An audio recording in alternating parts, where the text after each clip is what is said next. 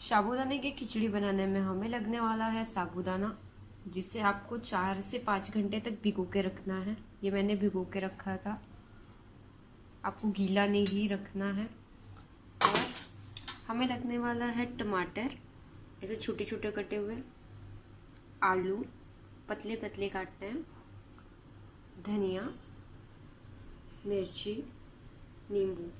मैंने और टमाटर दो लिया था और आलू एक बड़ा लिया है। तो आपको जैसा क्वांटिटी बनाना है, उस बेसिस पे आप काट सकते हैं। मैंने कढ़ाई रख दी है गर्म होने के लिए। उसके बाद हम इसमें डालेंगे घी। हमने घी डाल दिया है और इसमें मैंने डाला है एक चुटकी जीरा।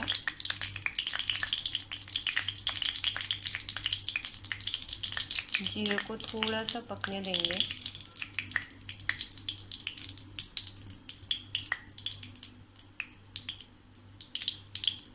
मीडियम फ्लेम पे ही आपको ये बनाना है।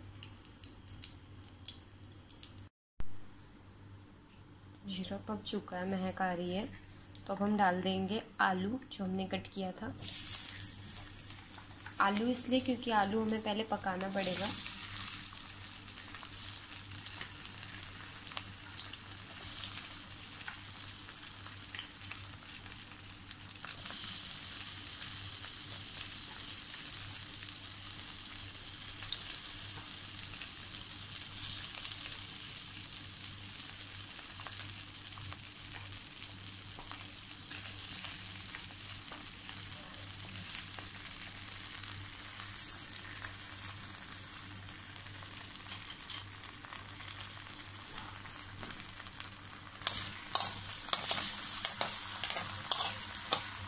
मीडियम फ्लेम पे हमें पकाना है।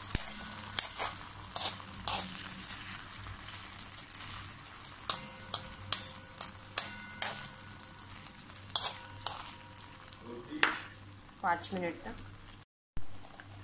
मैंने थोड़ी कड़ी पत्ता भी डाली है इसमें। ऑप्शनल है, डालना है, डालिए, नहीं डालना, मत डालिए।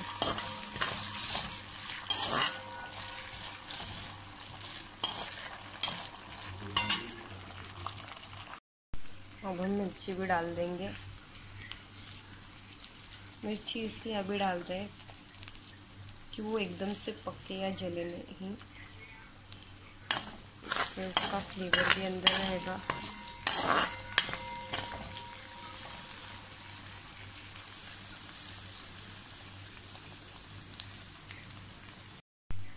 जैसे कि आलू पक गया है।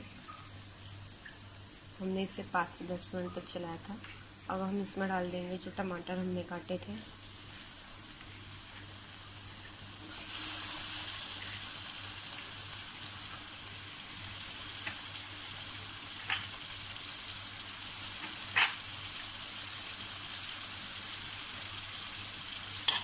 इसे भी हम अच्छे से चलाएँगे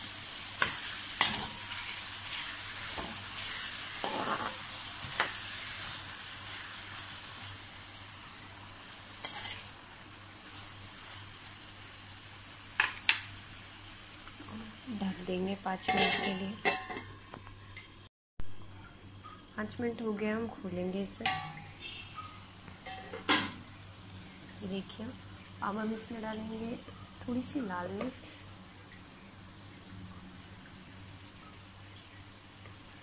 मेरी तीखी वाली नहीं है, कलर वाली है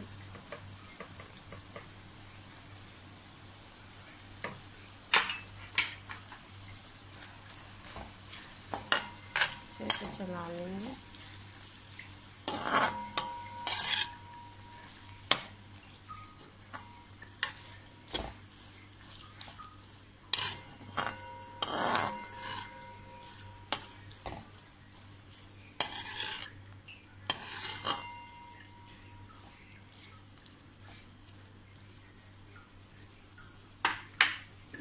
फिर से ढक देंगे। अब हम खोलते हैं। पाँच मिनट हो गया था तो अब हम इसमें डाल देंगे नमक। अभी डाल देंगे। स्वाद अनुसार डालना है आपको। जितनी क्वांटिटी है वो सोच के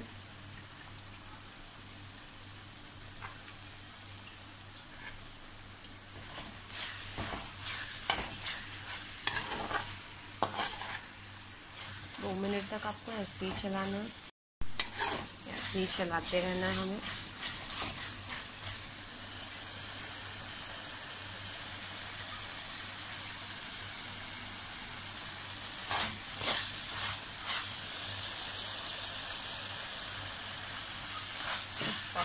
है। तो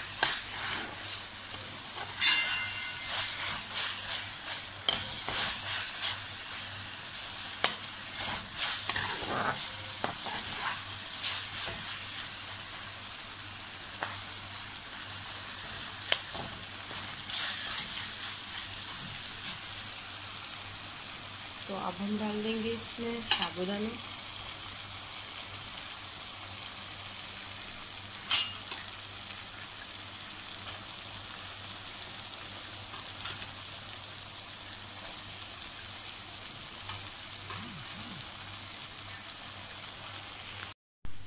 मैंने साबुदाना ले लिया है। अब हम इसे अच्छे से चला लेंगे, मिक्स कर लेंगे अच्छे से एकदम।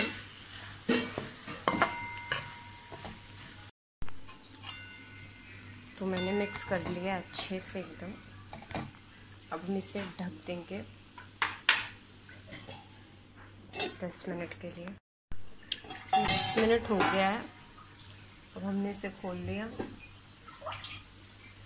ये कितना खिला खिला बना हुआ है।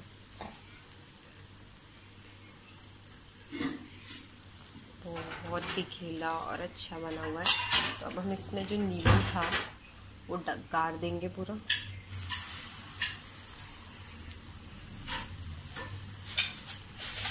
ठीक है। और हम धनिया भी डाल देंगे इसमें अभी।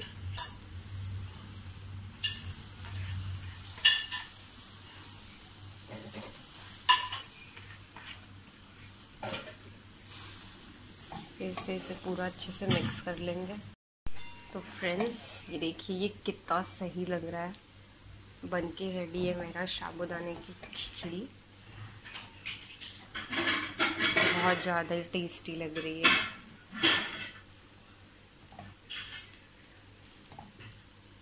अब हम गैस बंद कर लेंगे और मैं अब आपको सर्व करके बताती हूँ। तो फ्रेंड्स मैंने अपना साबुदानी खिचड़ी को सर्व कर लिया है। दही के साथ सर्व किया है मैंने। और धनिए की पत्ती से इसे गार्निश किया है।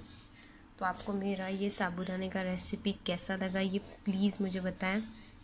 और अगर आपने मेरा चैनल सब्सक्राइब नहीं किया है तो जितना जल्दी उतना जल्दी कर लीजिए। और प्लीज़ इस इस वीडियो को लाइक कीजिए। ज़्यादा पसंद आए तो शेयर कीजिए अपने फैमिली और फ्रेंड्स में। Thank you